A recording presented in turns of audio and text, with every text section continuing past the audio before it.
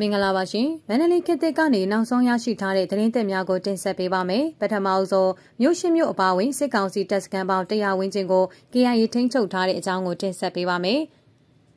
2024ခုနှစ်ကစပြီးကချင်လွတ်မြောက်ရေးတပ်မတော် KIA နဲ့မဟာမိတ်ပူးပေါင်းတပ်ဖွဲ့တွေထိုးစစ်ဆင်တာတွေခက်စိတ်စိတ်ဖြစ်လာပါတယ်။ဒီနှစ်ကစပြီးမေလ10ရက်အတွင်းမှာဆိုရင်ကချင်ပြည်နယ်နဲ့ရှမ်းပြည်နယ်မြောက်ပိုင်းကမဘိမ်းမြို့လလွယ်ကျဲဒေါ်ဖုံရံမြို့သစ်စင်ဘိုအင်ဂျန်ရံနဲ့စွန်ဘရာဘွမ်စတဲ့မြို့ရှိမြို့အပါအဝင်စစ်တပ်စခန်းပေါင်း100ဝန်းကျင်ကိုကချင်လွတ်မြောက်ရေးတပ်မတော် KIA ကထိန်းချုပ်ထားတယ်လို့အတည်ပြုထားပါတယ်။အဲ့ဒီမျိုးတွေမှာအုပ်ချုပ်ရေးရန်နေရာလဲပတ်နိုင်ဖို့လဲ KIA ကကြိုးပမ်းနေပါတယ်။ ကချင်ပြည်နယ်အတွင်းမှာစစ်ကောင်စီရဲ့ဗန်နာငွေရလန်းတွေနဲ့ထောက်ပို့လမ်းကြောင်းတွေကိုအတိုင်းအတာတစ်ခုထိကန့်သက်ထိန်းချုပ်ထားနိုင်ပြီလို့ KIA သတင်းပြန်ကြားရေးတာဝန်ခံဗိုလ်မှူးကြီးနော်ဘူးကပြောပါတယ်။ငကိုအတိုင်းသူတို့စစ်တပ်ကြမ်းကြမ်းခိုင်တဲ့သူတို့တပ်တွေကိုထိမ့်သိမ်းဖို့လွယ်မယ်လို့မထင်ပါဘူး။နောက်ပြီးသူတို့ရဲ့ဝင်ငွေတွေလည်းအနောက်ရှက်ကတော့အများကြီးရှိပါပြီ။အရင်လိုပုံစံကြိုက်တလောက်လိုတလောက်ကောက်တာတွေသုံးတာတွေလုံးလို့တော့အခုချိန်မှမရတော့ဘူးဟုဗိုလ်မှူးကြီးနော်ဘူးကပြောပါတယ်။ စစ်ကောင်စီအတွက်ဗန်နာငွေရရှိနေတဲ့တရုတ်နယ်စပ်ကုန်းသွေးမြို့လွယ်ကျဲမြို့ကိုပြီးခဲ့တဲ့ AB လ10ရက်နေ့မှာ KIA ကအလုံးစုံထိန်းချုပ်လိုက်တယ်လို့ကြောက်စိမ့်မြေဖားကန်မြို့ရဲ့အဓိကဝင်ပေါက်လမ်းတွေဖြစ်တဲ့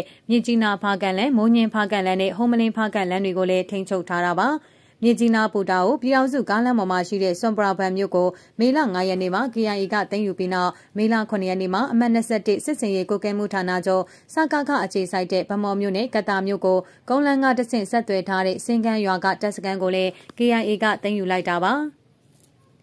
KIA ဌာနချုပ်လိုင်စာမြို့အနီးတစ်ဝိုက်ကဆယ်စုနှစ်ချီအခြေစိုက်ထားတဲ့စစ်ကောင်စီတပ်စခန်းတွေအပါအဝင်စခန်းကြီးစခန်းငယ်အကုန်လုံးကိုသိမ်းယူနိုင်ခဲ့ပြီးမက်လ9ရက်နေ့ကစတင်တဲ့စစ်စင်ရေးနောက်ပိုင်းမှာဆိုရင်မြူဟာအရရေးပါတဲ့တပ်စခန်းပေါင်း80ကျော်ကိုသိမ်းယူထားတယ်လို့ဆိုပါတယ်။ 2021ခုနှစ်ဇွန်လမှာပြန်စခဲ့တဲ့တကြောပြန်စစ်ရေးပြိပခကာလမှာစစ်တပ်ကလိုင်စာမြို့အနီးတစ်ဝိုက်ကိုထိန်းချုပ်ထားခဲ့ပြီးစစ်တပ်စခန်းတွေအထိုင်ချရာကနေဆယ်စုနှစ်ကျော်အကြာမှာ KIA ကပြန်လည်သိမ်းယူနိုင်ခဲ့တာဖြစ်ပါတယ်။အချိန်တိုအတွင်းမှာအခုလို KIA စစ်စင်ရေးတွေအောင်မြင်နေတာဟာ drone နည်းပညာ drone နည်းပညာအသုံးပြုနိုင်တဲ့အချက်ပါဝင်တယ်လို့အမည်မဖော်လိုတဲ့စစ်တပ်အရာရှိထောင်းတဦးကသုံးသပ်ပါတယ်။ တိုင်းဒေသကြီးပြည်မာထဲမှာလည်းပဲ PDF တွေကတက်ကိုအလုရှုပ်ထားနိုင်တာကိုအဲ့ဒီတော့တက်ကအဲ့ဒီဘက်ကိုစစ်ကူမပို့နိုင်ဘူးအဓိကအဲ့ဒီပြဿနာပဲနောက်တစ်ချက်ကတော့နီးပညာပိုင်း drone နီးပညာပိုင်းပေါ့အဲ့ဒီနီးပညာပိုင်းမှာအစပိုင်းမှာတာသွားတယ်အဲ့ဒီသုံးချက်ပေါ့ဟုပြောပါတယ်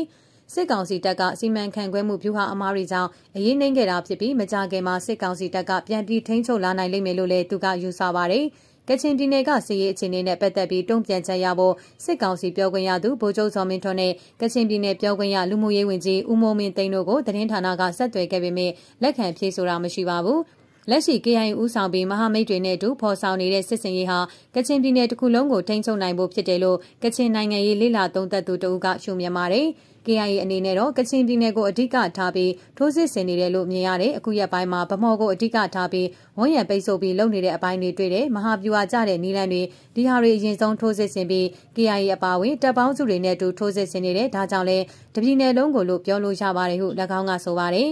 စစ်ကောင်စီကကချင်ပြည်နယ်မှာလက်ရှိကြုံနေရတဲ့စစ်ရေးရှုံးနိမ့်မှုတွေကနေလွတ်မြောက်ဖို့နီလန်းမျိုးစုံနဲ့ထွက်ပေါက်ရှာနေတယ်လို့လည်းနိုင်ငံရေးလေလာသုံးသပ်သူကသုံးသပ်ကြပါတယ်။တရင်ဌာနကပြုစုထားတဲ့စည်ရင်အရာ KIA နဲ့မဟာမိတ်တွေရဲ့ခက်စိတ်စိတ်စစ်စင်ရေးတွေကြောင့်တိုက်ပွဲတွေပြင်းထန်လာပြီး2024ခုနှစ်ပထမလေးလအတွင်းကချင်ပြည်နယ်မြို့ခုနှစ်မြို့မှာစစ်ကောင်စီရဲ့လေကြောင်းနဲ့လက်နက်ကြီးကြောင့်ရဲသား62ဦးသေဆုံးခဲ့ကြောင်းသိရှိရပါတယ်။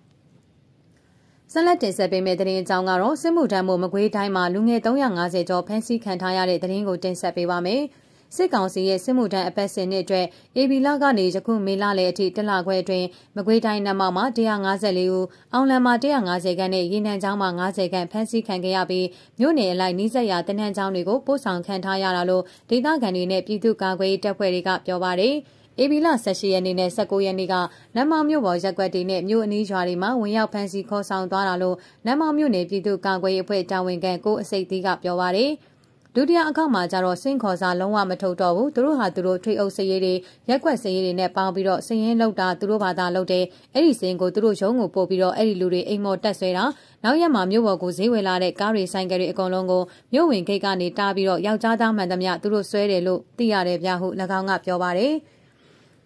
ဒီစီရင်အချက်လက်တွေဟာဒေသခံတွေကတဆင့်ပြောဆိုချက်တွေပေါ်အခြေခံကခံမှန်းပြုစုထားတာဖြစ်ပြီးလက်တွေ့မှာဒီရည်တွက်ထက်ပိုများနိုင်တယ်လို့လည်းဒေသကာကွယ်ရေးတပ်ဖွဲ့တွေကပြောပါတယ်။ဖမ်းဆီးခံခဲ့ရသူတွေကနတ်မောင်မြို့ကအမျိုးသား၁၀ဦးကတော့ထွက်ပြေးလွတ်မြောက်ခဲ့ပါတယ်။သူတို့ကိုကင်းဆောင်ကိုင်းချိန်ထွက်ပြေးလာတာလို့ပြန်လွတ်လာတဲ့နတ်မောင်မြို့ကန်တဦးကပြောပါတယ်။ ရွာမှာလာဖမ်းတာဖမ်းမိပြီးခေါ်သွားတာကျွန်တော်တို့ညီကိုနှစ်ယောက်ကနတ်မောက်ရောက်တော့ညီကိုနှစ်ယောက်တယောက်တော့ပြန်နေတယောက်ကသူတို့ခေါ်မယ်ဆိုပြီးခေါ်လာတာနတ်မောက်မှာတညအိပ်ပြီးတော့နောက်တနေ့မကွေးကိုဆေးစစ်ပြီးရွာမုံစစ်တပ်ကိုတခါတည်းခေါ်သွားတာကင်းဆောင်တာကိုရဲကလူတွေစောင့်ခိုင်းနေကင်းဆောင်တဲ့သူတွေရောတခါတည်းပြေးလာတာဟု၎င်းကပြောပါတယ်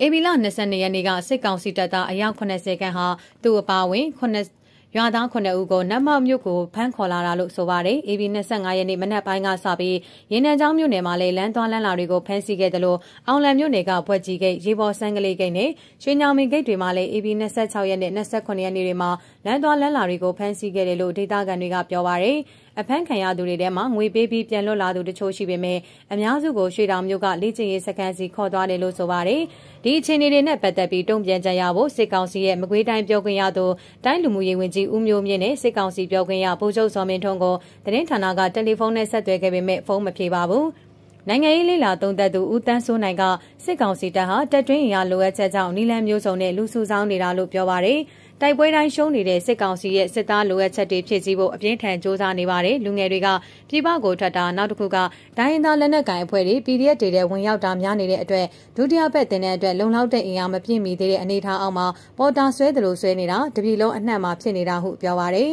စစ်ကောင်စီတပ်ဟာစစ်မှုထမ်းဟောင်းတွေကိုပြန်ခေါ်ယူနေတယ်လို့အသက်16နှစ်ကနေ35နှစ်ကြားလူငယ်တွေကိုစင့်ခေါ်စာတွေမပို့တော့ဘဲအိမ်မော်တက်ဖမ်းဆီးနေတယ်လို့လမ်းမော်သွားလာနေသူတွေကိုပါမချမ်းလူသစ်စုဆောင်းနေတာလို့ဆိုပါတယ်။ စစ်ကောင်စီတပ်ကအတ္တမလူစုဆောင်းနေတာဟာမအောင်မြင်တဲ့ပြည်သူ့စစ်မဟာဗျူဟာကိုကျင့်သုံးနေတာလို့တရက်ခရိုင်အခြေစိုက်ဘာမြူတာတပ်ပေါင်းစုအဖွဲ့ပြောရေးဆိုခွင့်ရှိသူကိုအာခိလီကပြောပါရယ် မအောင်မြင်တဲ့ပြည်သူစစ်မဟာဗျူဟာသုံးချင်နေတာပေါ့ဘာလို့လဲဆိုတော့အင်အားလိုအပ်တာကိုပြည်သူစစ်ကိုသူတို့အသက်သွင်းချင်နေဆိုရင်ပြည်သူရဲ့နှလုံးကိုတင်းကျုံယူနိုင်မှသာလေပြည်သူစစ်ကအရာမြောက်မှာကိုအခုဟာသူတို့ကဓမြတိုက်နေတိုက်ပြီးပြည်သူစစ်ခေါင်းစဉ်တက်တက်ချင်နေတော့သူတို့လှုပ်ရက်နဲ့အနှစ်သာရနဲ့ကမတူညီတဲ့အတွက်ဒါကြောင့်မို့လို့ရေပေါ်အယုတ်ရေးတာနဲ့အတူတူပါပဲဟု၎င်းကပြောပါတယ်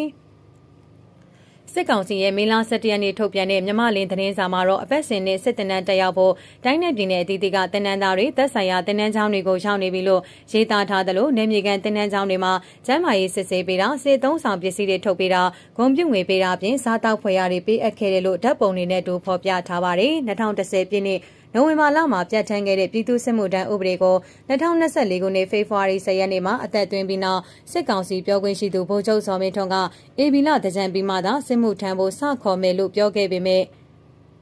မက်လာအလေကလေးကတိုင်းနယ်ပြည်နယ်အသီးသီးမှာလူငယ်တွေကိုစစ်မှုထမ်းဖို့စုဆောင်းခဲ့တာပါဗမာရေးရနဲ့ပြည်ပခလေးလာရေးအဖွဲ့ BAC ရဲ့စည်ရင်အရနိုင်ငံအနဲ့မြို့နယ်ပေါင်း184မြို့နယ်ရက်ွက်ကြေးရွာပေါင်း498ခုမှာ နှစ်လအတွင်းလူပေါင်း9000ခန့်စစ်မှုထမ်းပထမတုပ်ဖြစ်စတင်ခေါ်ယူခံခဲ့ရတယ်လို့သိရှိရပါတယ်။